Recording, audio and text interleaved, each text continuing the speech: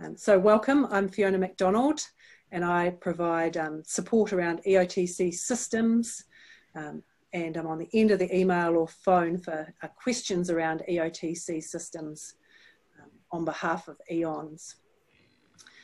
Uh, so some of you may have been online for the EOTC and outdoor education at alert level uh, two. Um, which was a lot more comprehensive and uh, difficult to manage than level one. Um, but I have had a number of questions um, since we've gone to level one. Um, so I just thought this opportunity to answer all of those and to see if there's any other questions floating out there as well. Um, Catherine will record this and so um, if there's people at school that um, you think would benefit afterwards, you can feel free to pop onto the EONZ website and um, share that with them. The level two advice um, is also sitting in there um, recorded from last time. Uh, as Catherine said, um, there's not that many of us today, so um, we'll whip through this presentation and then um,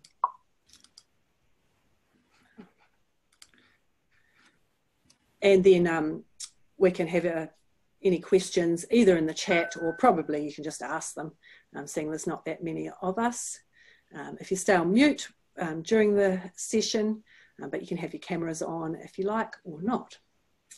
Um, uh, so one thing before we go into the presentation is just a quick check um, to make sure your school is on the National Incident uh, National EOTC Coordinator database, and you're looking for this little um, symbol on the front of EONZ's web page uh, homepage and clicking on that it takes you through to um, a free registration, very quick process, and then you're getting all of this information coming to your inbox. If you can share that around your networks um, with your neighbouring schools, um, anyone you talk to in different schools, that'd be really appreciated. Uh, where around about a thousand schools have EOTC coordinators or their AP DPs registered on that database. Um, so obviously there's still a few to um, get onto that database and um, it's really a great way to make sure you're keeping up with um, current good practice. So now into uh, level one um, and the key change here is that there's no public health requirements that are specified for you at level one. Um, they, instead of being requirements, they become key public health measures for schools. And uh, these will be the things that you have been doing all the way along and um, we should all be continuing to do. Um, you know, if they, you stay home if you're sick, you have really good hand hygiene and sneeze, cough hygiene. Uh, there is still a program of regularly disinfecting surfaces, but uh, that's not as rigid as it was at level two um, and you know, lots of ability for students um, and your teachers to be able to uh, wash, dry, disinfect their hands. Um, the contact tracing moves from having to do it to supporting that and that seems to be a little bit of a moving feast at the moment around what contact tracing um, looks like.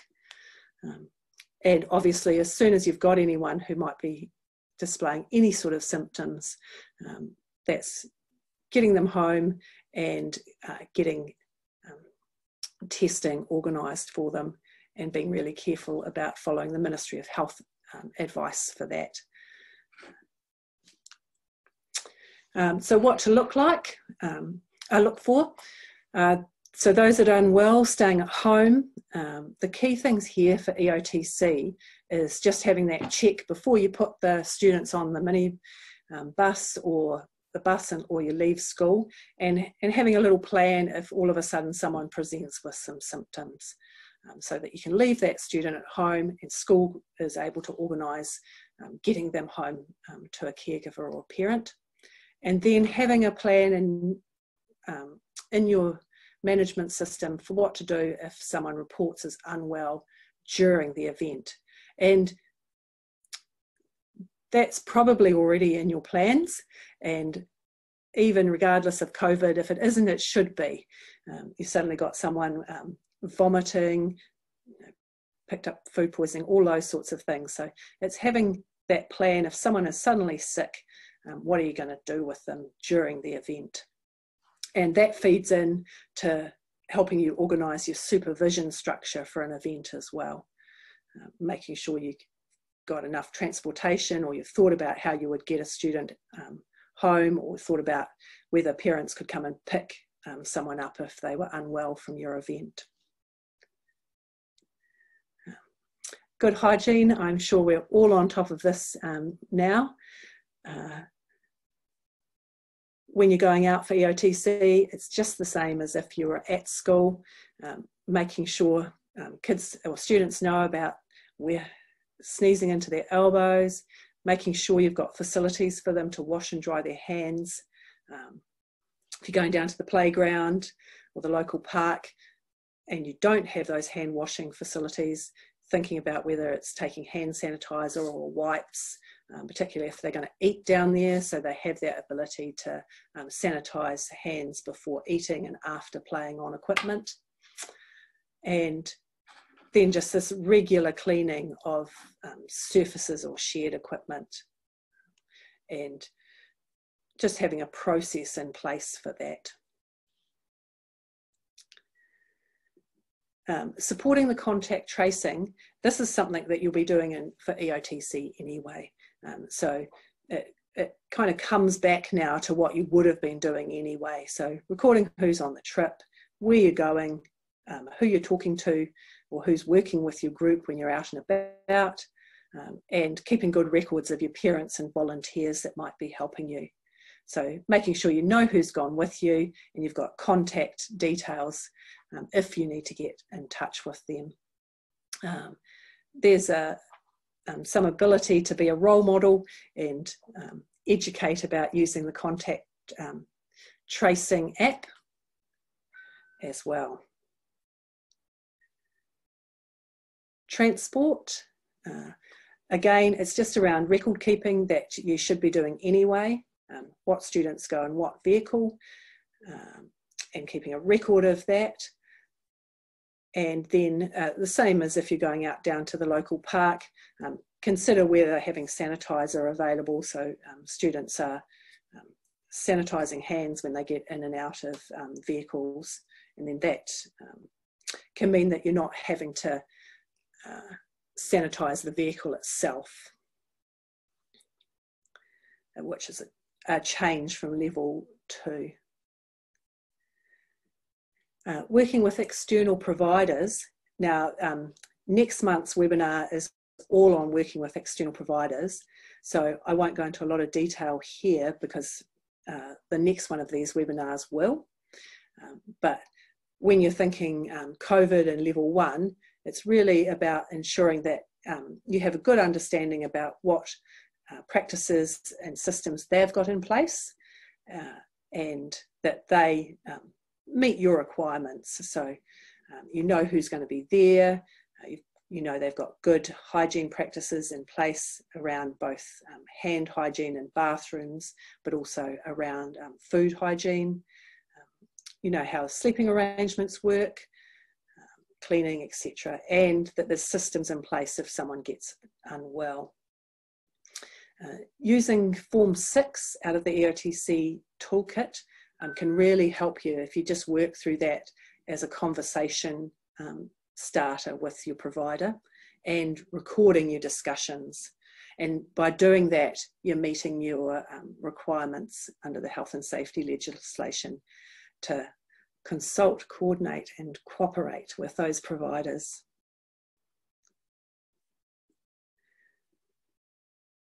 Uh, now, This is just a couple of screenshots from um, the EONZ website uh, to show you where things are.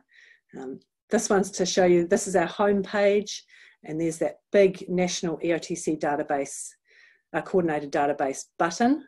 Um, if you know anyone that needs uh, to register their EOTC coordinator, um, that will take you directly through to the page that you can do it.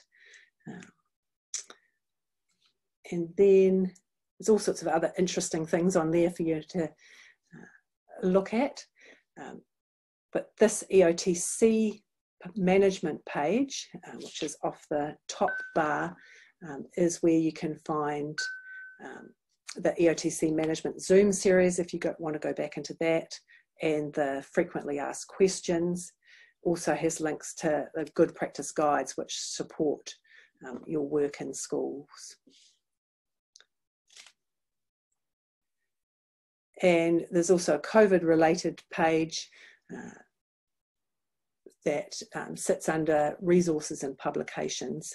And that's where this recording will be on the bottom of this page, but also lots of other stuff um, and links and ideas are in there. And all the links to the current ministry support documents um, around um, health and safety and all the COVID bulletins are all sitting in there as well. So now's the time for any questions. Um, feel free to turn your mics on um, or pop anything into chat. Otherwise, it's going to be a very super quick session. so you better ask some questions.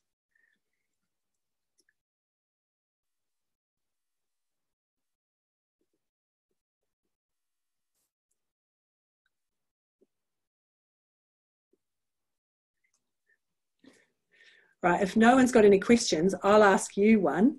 Um, how how's EOTC going within your schools? Um, and are you starting to get back on track with what you had planned for the year?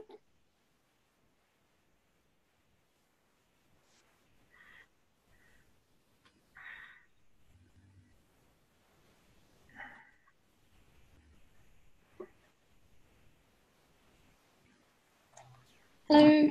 Okay. Ruth, do you want to share? Um, just saying, so we go across multiple different schools. So I am in deaf education in New Zealand, and so one thing that we found hard to begin with was letting schools have their students come to us knowing that there could be 50 different schools represented at an event. So it's just getting to the place now where schools are happy to send their kids on events again, where they know it will be multiple kids from different schools interacting. Fantastic. And have you had conversations with those schools um, to put their minds at ease do that? Um, yes, with some. Others have just been more of the journey of kind of realizing that kids hang out with different schools in the weekend anyway, so as safe as they can keep during school hours, out of school hours, they've got no control over. Um, and just reassuring that we're going to be following all the processes that they follow at school as well. Fantastic. Thanks, Ruth. Donald, do you have? I was just going to say that it's it's um, it's it's kind of been a slow across our schools. It's been slow coming out of lockdown. while everyone kind of felt their way about, um, reconnected with the school, um, but now people are playing catch up, and there's lots of trips going out. Mm.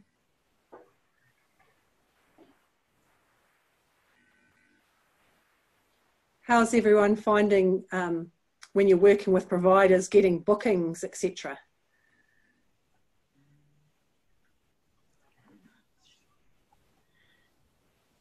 Hi, Kelly here. Um, I'm finding that they uh, wanting definite numbers very early on, um, whereas with Duke of Ed, we, we are moving around with our numbers all the time. And um, so I've struggled with getting that uh, getting that balance between having a, a, bit of room for negotiation and them wanting numbers so that they can get other groups in at the same time. Mm. Yeah, there certainly seems to be some pressure out there, doesn't there? Oh, yeah.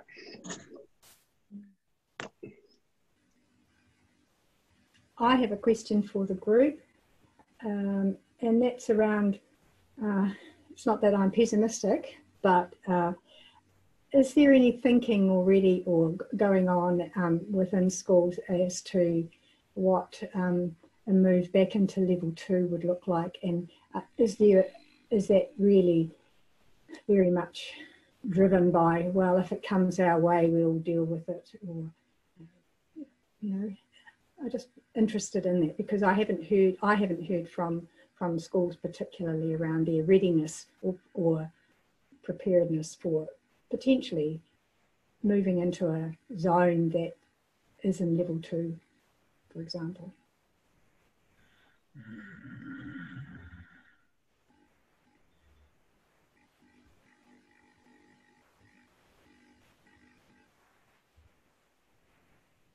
No one's volunteering anything on that, Catherine, because we're not going there. No. that would be that would be fantastic, wouldn't it? And that would be that would just that would be amazing. Yeah. If we didn't. Yeah, I think it's great. Yeah. Oh, thanks. Um, so we've got some comments on chat. Yep, crazy times.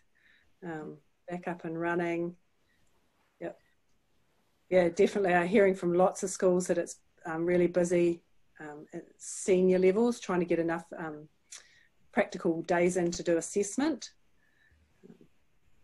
Was going to say the other the other kind of thing that's putting pressure on is the closing of the Hunua and Waitakeres for Auckland schools or for, for the Auckland region, and just the kind of that plus the COVID, where you lost a couple of months where people couldn't go on programs, just making venue availability and campsite availability pretty crazy.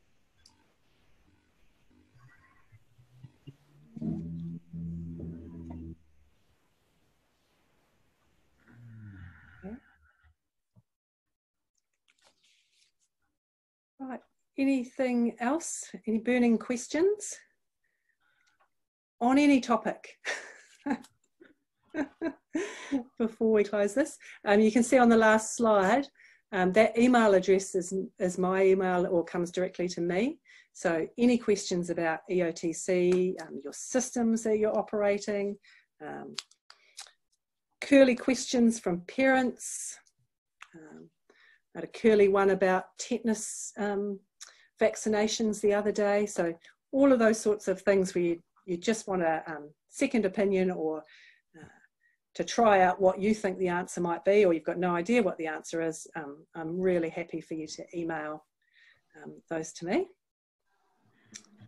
The one thing uh, I was just going to add is that there's still lots of conversations around the 150, the 150 charge. Yep. Um, I've given them the stuff that's been on the EONZ website and the the one pager that was from TKI.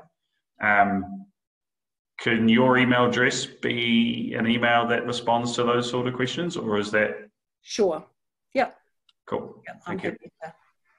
And I have had a few schools um, looking for, or a few outdoor ed teachers looking for um, support around, um, or and camp organisers actually, um, for support around how they might um, work through that space. Cool. So, just clarify, this is the donation scheme. Yeah, donation. so yeah, the $150 per student, yeah. Yep, so happy to clarify or, or help with support in that area. Thank you.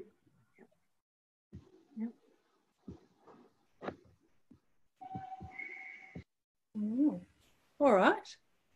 Um, if there's no, no other questions, um, we'll sign off. And um, I just encourage you to um, pop along next month to the um, webinar on working with external providers. And we'll really look at um, Form 6 and requirements under legislation for working with a, another organisation, both coming into your school and you going out to them. Mm. Spread the word.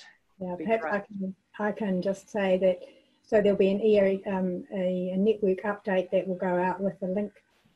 A link will also, be, or a, a, registration link will also be put on uh, on that page under EOTC management where it had uh, the Zoom series information and it will probably go out on Facebook as well.